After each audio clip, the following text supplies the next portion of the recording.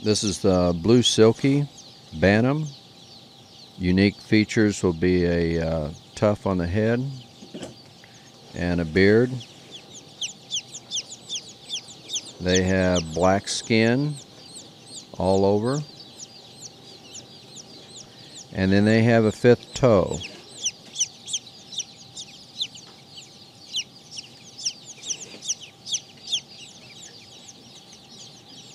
They have three front toes, and usually they have one back toe, but they have a longer fifth toe.